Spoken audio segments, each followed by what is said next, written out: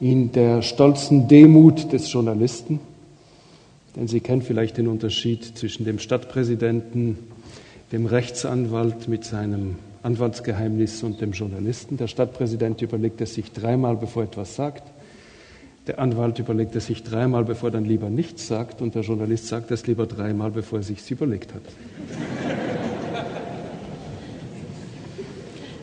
Aber ohne große Überlegung darf ich sagen, wie gern ich nach Zug gekommen bin. Nicht der kurzen Reise von Zürich her wegen, sondern weil mich mit dieser Stadt vieles verbindet. Mein Schwiegergroßvater, wenn es dieses Wort geben sollte, war Dagobert Kaiser, der Zuger Architekt. Und äh, meine Frau ist eine halbe Zugerin. Und äh, an vielen Familientreffen und Familienfesten durfte ich in dieser Stadt sein und gerne.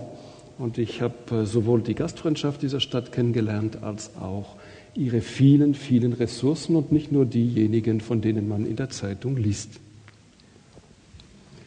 Lassen Sie mich zu Beginn, äh, obwohl das Buch nach der Krise heißt, mit aller Zuversicht ein paar Gedanken anstellen. Sie kennen vielleicht den Unterschied zwischen dem Optimisten und dem Pessimisten. Unabhängig davon, was beide denken, nimmt das Schicksal seinen Lauf.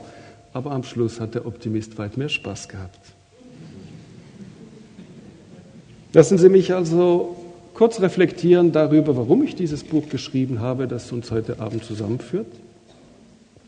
Und äh, ein paar Erkenntnisse aus dieser Krise mit Ihnen teilen und in einem zweiten Teil dieser Rede dann auch, ich höre so ein Hallen, aber ich hoffe, dass man mich gut hört, im zweiten Teil dieser Rede dann äh, ein paar Gedanken auch zur besonderen Lage unseres Landes anstellen. Wir alle, und äh, der Stadtpräsident hat es betont, sind von dieser Krise betroffen, mit dieser Krise beschäftigt. Etwas stärker die einen, etwas weniger stark die anderen. Und trotzdem sieht man rundherum lauter, auch Fachleute oder Menschen auf der Straße, die sich fragen bis heute, was ist eigentlich los? Was war eigentlich los? Was sind die tieferen Gründe und Beweggründe. Und das war mein erster Impuls, zu versuchen, auch für Nichtökonomen, für Menschen, die nicht ökonomisch besonders bewandert sind, hier die großen Züge dessen, was geschehen ist, zu erörtern. Und ich glaube, wenn man diese Krise verstehen will, das war beim Schreiben, und das Schreiben ist ja auch immer wieder eine Art zu denken, meine erste Erkenntnis, will man diese Krise verstehen, dann ist es vielleicht sogar teilweise von Vorteil, kein Ökonom zu sein. Denn diese Krise ist nicht nur eine Finanz- und Wirtschaftskrise, sondern sie ist zutiefst auch eine Wertekrise und darauf werde ich zurückkommen. Zum Zweiten hat mich beschäftigt, als Sozialliberaler, der ich seit äh, langer, langer Zeit bin, seit meinem Studium in St. Gallen, der Diskurs über die vergangenen äh, Jahrzehnte war, Eigenverantwortung, Eigenverantwortung, Eigenverantwortung. In allen Reden, Sonntagsreden von Wirtschaftsführern wurde dies in den Mittelpunkt gestellt, die Eigenverantwortung müsse gestärkt werden. Doch in dem Augenblick, in dem die Krise ausbrach, haben viele unserer Wirtschaftsführer, viele unserer führenden Liberalen zunächst einmal gesagt, vor allem der Staat ist an dieser Krise schuld, nicht die Eigenverantwortung war plötzlich da, sondern die Fremdverantwortung des Staates. Und ich glaube, dass es die Pflicht eines jeden Liberalen ist, ob er nun wirtschaftsliberal oder sozialliberal oder was es da an Schattierungen auch immer geben mag, dass es die Pflicht eines jeden Liberalen ist, sich mit dem eigenen Gedanken gut auseinanderzusetzen. Wenn einer das tun muss, dann ist das der Liberale. Und als Marktwirtschaftler kann man wahrlich nicht stolz sein über die Art und Weise, wie sich über die vergangenen zwei, drei Jahrzehnte die Finanzmärkte entwickelt haben. Hier bedarf es der Selbstkritik, der selbstkritischen Auseinandersetzung, um die Marktwirtschaft auf eine neue, glaubwürdige und stabilere Grundlage zu stellen. Und zum Dritten fiel mir auf, dass im Nachgang zu dieser Krise plötzlich so etwas wie die Stunde der Ingenieure war, wie etwa nach einem Gau oder beinahe Gau bei einem Kernkraftwerk kam der eine und sagte, man müsste diesen Hahn aufmachen, der andere, hier brauchen wir einen Überlaufbehälter, der dritte sagte, nein, diese Leitung muss umgelegt werden und so weiter und so fort. Ich glaube, nein, wir stehen in der Pflicht, selbstverständlich eine Vielzahl von technischen, vielleicht sogar technokratischen Maßnahmen zu treffen, einerseits, aber auf der anderen Seite ist diese Krise die uns noch lange beschäftigen wird. Und hier habe ich möglicherweise eine Nuance zum Stadtpräsidenten. Ich glaube, sie fängt erst richtig an, dass wir uns äh, mit dieser Krise über die Grundlagen des Systems, das unser Leben so stark prägt, auseinandersetzen. Und zunächst einmal uns auch, gerade wenn man liberal ist, über ein paar elementare Kategorien wieder Rechenschaft ablegen. In der Zeit vor der Krise wurde beides gleichermaßen verteufelt, gleichgesetzt, die staatliche Intervention und die staatliche Regulation. Beides war schlecht. Im Vordergrund stand die Vorstellung eines sich selbst, weitgehend selbst regulierenden Marktes. Und bis heute herrscht ein großes Durcheinander, eine unscharfe Begrifflichkeit in Sachen Intervention und Regulation. Und nicht wenige Bankiers, die enorm profitiert haben von den massiven staatlichen Interventionen ins Marktgeschehen, wie der Geldmarkt überflutet wurde von Zentralbankgeld, um das System zu stabilisieren, sehen wir sehr viele Bankiers, die sich über diese massiven Interventionen freuen, aber sich bis heute heftig wehren gegen eine straffere Regulation. Und ich sage, solche Bankiers sind äh, Sonntagsliberale und Werktagsmarxisten. Denn das liberale Gedankengut ist genau das Gegenteil. Eine gute Regulation verhindert staatliche Intervention ins Marktgeschehen. Es ist die Kernaufgabe des Staates, die Kernaufgabe des Staates, für eine Marktordnung zu sorgen. Und äh, die Vorstellung, dass der Staat sich davon stehlen könnte, Ordnung auf dem Markt zu, herzustellen, ist eine zutiefst illiberale Vorstellung. Warum? Muss der Staat, und wir wissen alle um viele Unzulänglichkeiten dieses Staates, warum muss der Staat für Ordnung sorgen? Aus einem ersten Grund, der nicht einmal ein ökonomischer ist. Wenn sich der Markt selbst reguliert, dann gelten vor allem und zuvorderst die ökonomischen Werte und alle nicht ökonomischen Werte, ich denke an die sozialen, die ökologischen, die kulturellen, manchmal sogar die nationalen, die europäischen Werte, welche Werte auch sonst im Leben so wichtig sind, die geraten unter die Räder. Und die Art und Weise, wie sich über die vergangenen zwei, drei Jahrzehnte der Bereich der Wirtschaft expandiert hat und das Nichtwirtschaftliche zurückgedrängt wurde, finde ich besorgniserregend. Ich bin ein überzeugter Marktwirtschaftler. Ich unterstütze und ich befürworte die Marktwirtschaft, aber ich bin ein entschiedener Gegner der Marktgesellschaft. Und wir haben gesehen, wie sich die Marktwirtschaft ausuferte zur Marktgesellschaft. Der Markt müsste im Dienste dieser Gesellschaft stehen. Und über die vergangenen zwei, drei Jahrzehnte sahen wir, wie stärker denn je es umgekehrt wurde, die Gesellschaft geriet zusehends in den Dienst des Marktes. Bis hin zum Sozialarbeiter, der einen Fürsorgebedürftigen als Klienten bezeichnet, weil diese ökonomische Bezeichnung in der durchökonomisierten Gesellschaft ihn fast schon wieder adelt. Die Durchökonomisierung der menschlichen Beziehungen zersetzt, zerrüttet, schwächt jede Gesellschaft Und wir sind in dieser Ökonomisierung menschlicher Beziehungen sehr, sehr weit gegangen. Der zweite Grund ist ein durchaus ökonomischer. Sämtliche wirtschaftshistorische Erfahrung lehrt uns, dass ein sich selbst regulierender Markt besonders krisenanfällig ist.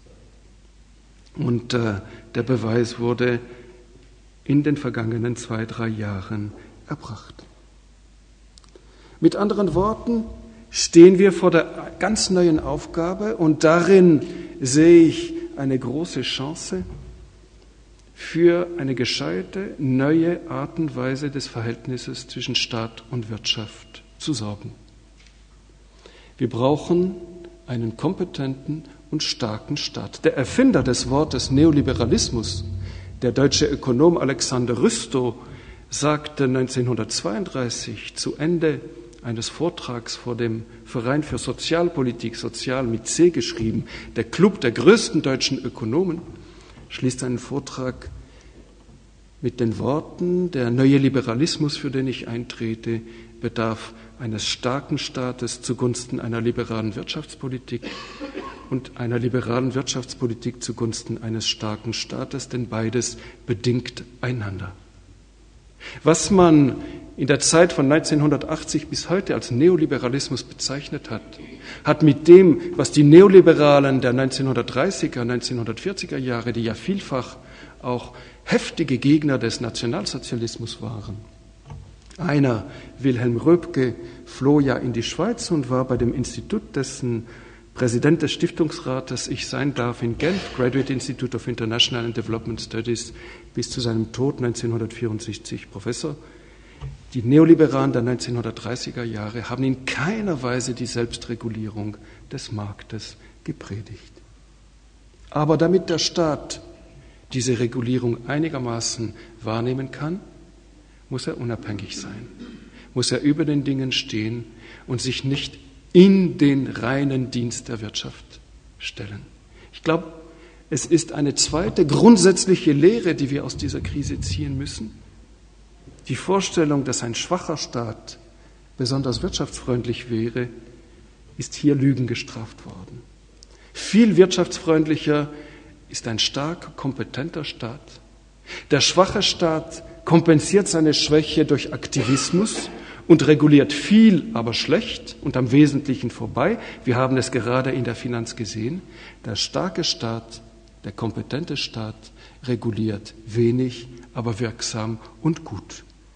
Und das bedeutet, dass er auch in der Lage sein muss, mal der Wirtschaft Nein zu sagen. Und gerade hier erleben wir einen Paradigmenwechsel. Als äh, der heutige Finanzminister und der damalige Justizminister in den Bundesrat gewählt wurden, jubilierte Marcel Ospel, damaliger Präsident der UBS, die Interessen seiner Bank seien, Zitat, in mehreren Departementen jetzt gut abgestützt, es breche eine Glanzzeit für den Finanzplatz an.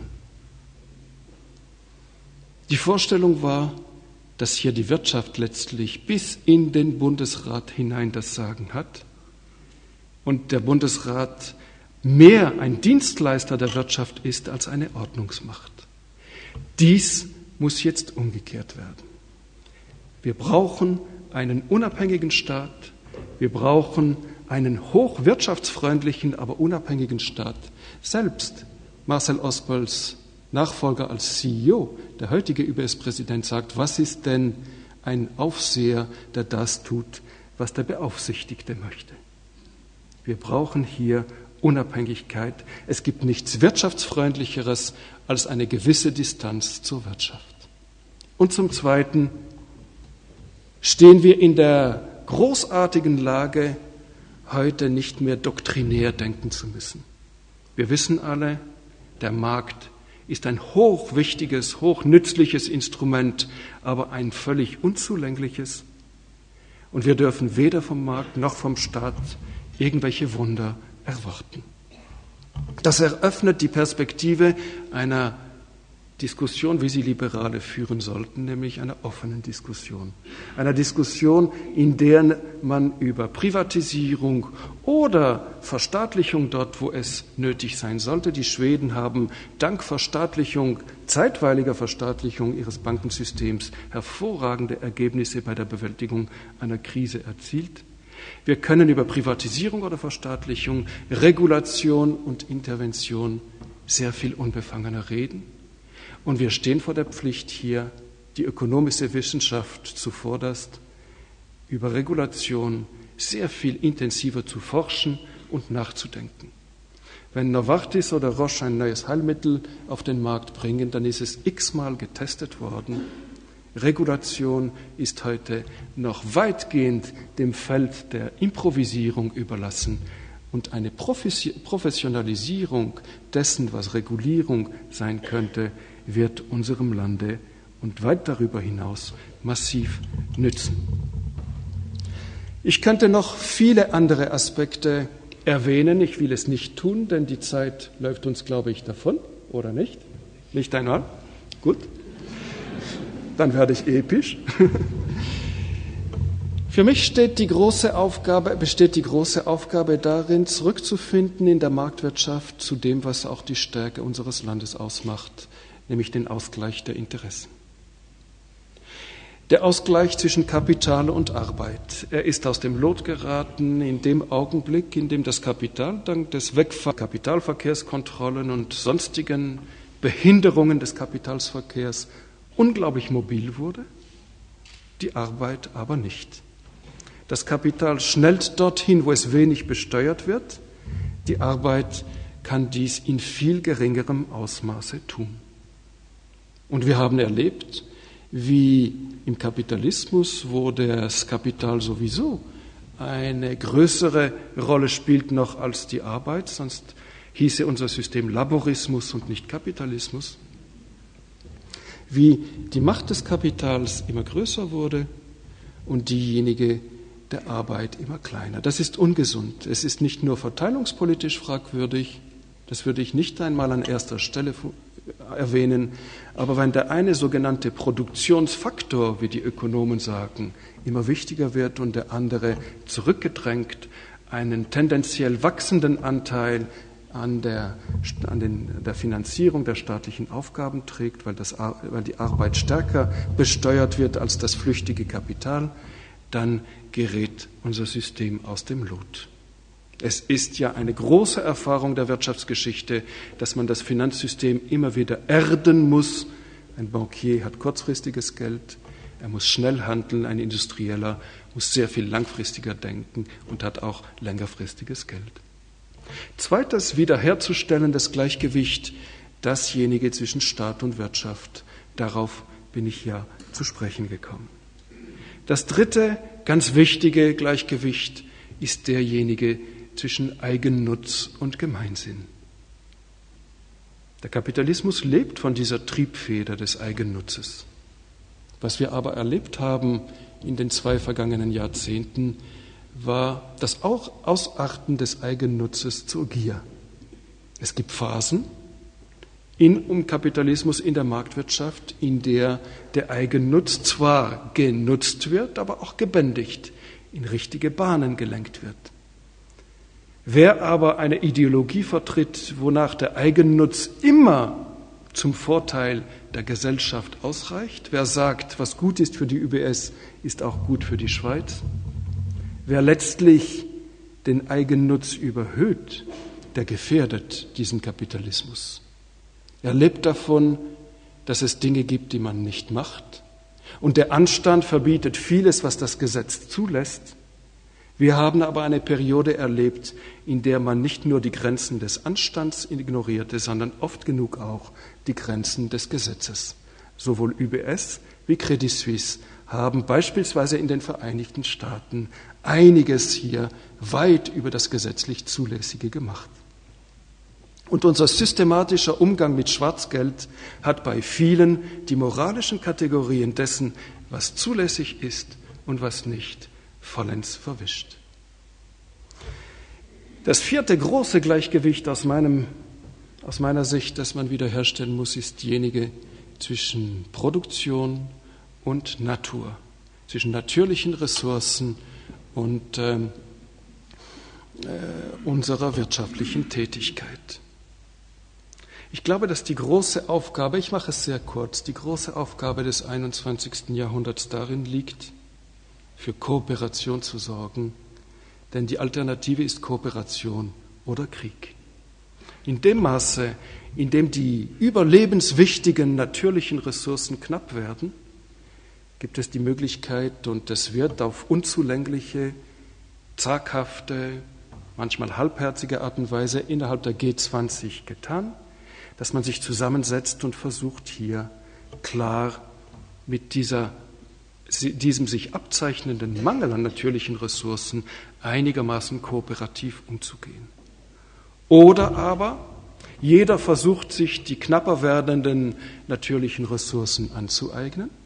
Am Schluss wird selbst das privatisiert, was man sich unter Privateigentum heute noch gar nicht vorstellen kann. Zum Beispiel wird die reine Luft zum Atmen privatisiert.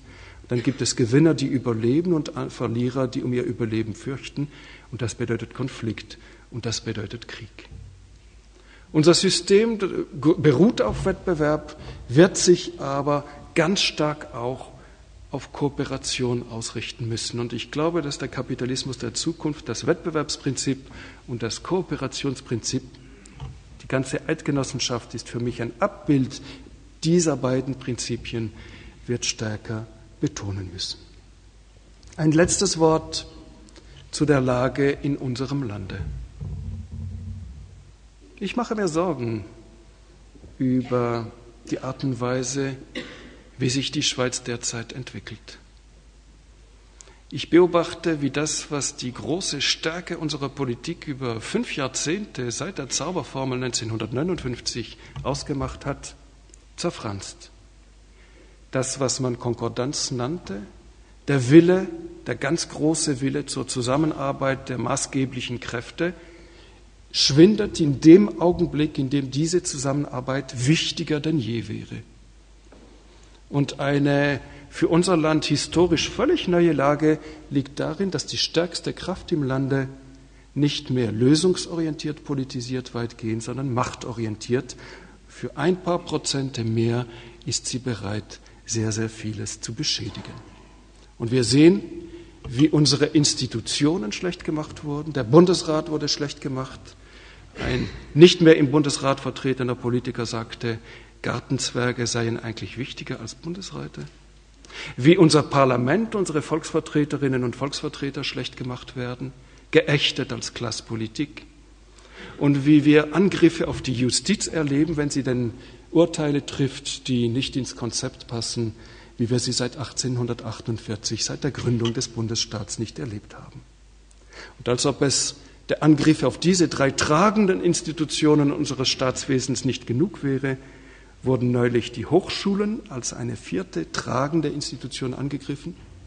Wer die ausländischen Spitzenforscher, die wir anzulocken wissen, angreift, destabilisiert dieses System, macht unseren Wissensplatz, der nach der Krise des Finanzplatzes wichtiger geworden ist, zu einer, bringt ihn in die Defensive. Und wir sehen auch, wie die fünfte große Institution im Lande, die SRG, die den Zusammenhalt auch den Welschen, ich bin ein Roman, und den Tessinen überhaupt ermöglicht, Medien von guter Qualität zu haben im elektronischen Bereich, ebenfalls angegriffen wird. Ich glaube, hier müssen wir umdenken.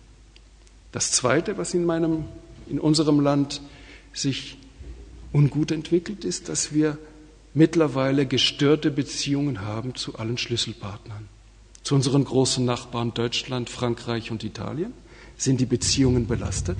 Zur EU, zu den Vereinigten Staaten, nach der Flüchtlingsaffäre um die zwei Uiguren mit China und nach der Abstimmung über die Minarette mit einem Teil der islamischen Welt.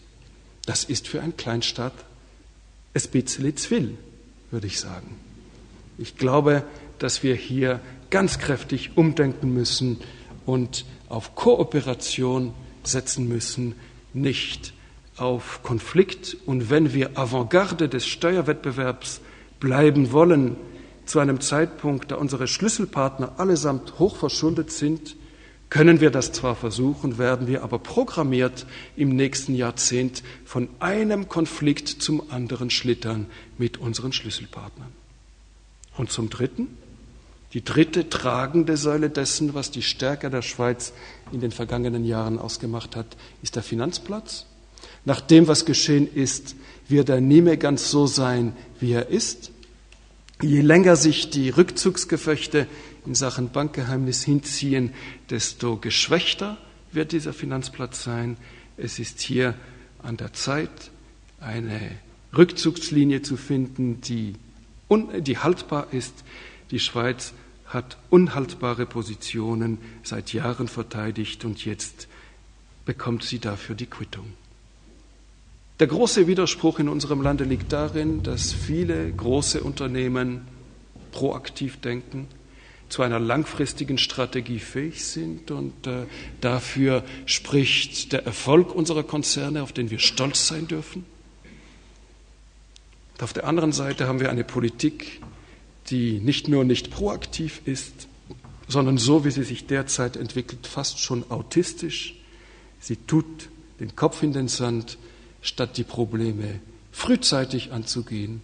Hätten wir vor vier, fünf, sechs Jahren den Ausstieg aus dem Steuerhinterziehergeheimnis gut vorbereitet, müssten wir in keiner Weise heute UBS-Kunden an die amerikanische Steuerbehörde verraten. Sie hätten Zeit gehabt, um zu disponieren, ihre Gelder zu legalisieren oder meinetwegen andere Lösungen zu finden, nicht in unserem Land. Gerade weil wir dieses Geschäft ausreizen wollten bis zur letzten Minute, werden wir den Prinzipien, die dieses Land ausmachen, untreu. Und die große Lektion, die die Schweiz aus der Krise ziehen sollte, ist, dass sie in ihrer Politik Mut zum proaktiven Handeln entfalten sollte, auch wenn das kurzfristig unpopulär ist. So viele Politikerinnen und Politiker heute wissen, was zu tun wäre, so viele wagen es aber auch nicht allzu laut zu sagen. Und das ist etwas, was das Land schwächt. Das waren ein paar einführende Worte, aber glauben Sie nicht, dass ich ein Schwarzmaler wäre. Ich glaube, dass unser Land die Kraft hat, gerade auch dank seiner direkten Demokratie, die anstehenden Aufgaben anzupacken. Ich wünsche mir, dass nicht die historische Tradition, dass alle größeren Entwicklungsschübe in unserem Land durch Außendruck entstanden sind, sich wieder einmal bestätigt, sondern ich glaube, wir müssen jetzt in eine neue Phase treten im 21. Jahrhundert, in dem wir dieses Projekt Schweiz neu denken. Unsere Gründerväter 1848, und das waren großen Teil Liberale, unsere Gründerväter wollten diese Gestaltungsmacht und diese Gestaltungsmacht können wir haben, sowohl in der Marktwirtschaft, wir können diese gestalten, sie lebt nicht von Naturgesetzen, als auch in der Politik. Ich danke für die Aufmerksamkeit.